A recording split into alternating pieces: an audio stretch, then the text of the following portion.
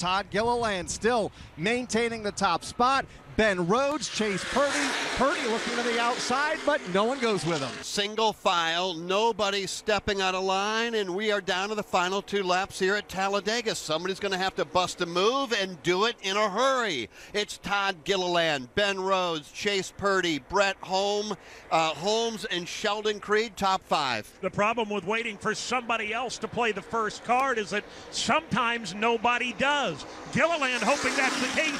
Creed to the outside. Here they come on the backstretch. Chase Purdy jumps up in front of Creed. Now drivers dart back to the bottom of the racetrack. They're side by side now for the lead. Gilliland to the bottom. Chase Purdy on the outside with help from Brett Holmes. Chase Purdy with all the momentum in the outside lane, drafting help from Holmes. Now Purdy's going to cut across the racetrack. He'll go back to the inside. Holmes leads the outside lane, which stalls out just a bit off turn four. Chase Purdy has the lead at Talladega and he gets turned. Purdy goes for a spin down to the infield grass. The rest of the field fans out three wide. Caution is on the speedway. They did not get to the white flag. Caution came out before the leader got to the white flag because Chase Purdy and his Carolina blue and white Bama buggies entry got turned at the entrance to the trioval. He's refired that truck and will be able to continue on. The emotions of NASCAR in a matter of about 200 yards. The spotter saying to Chase Purdy,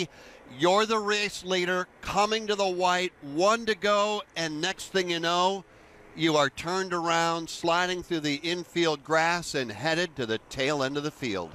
Let's pick them back up as they raced their way off four and back to the trioval. He let his truck drift up a full width, uh, one full lane to driver's right, and gave the bottom of the racetrack to Todd Gilliland, who had a head of steam with drafting help behind him.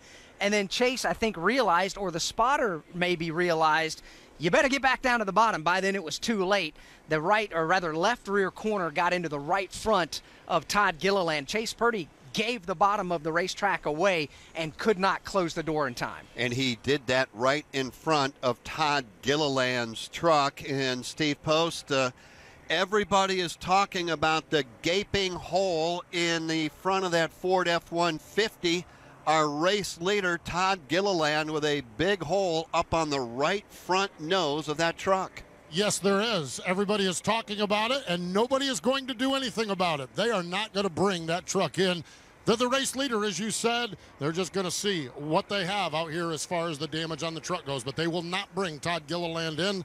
They've looked at it through the binoculars, and they are staying out.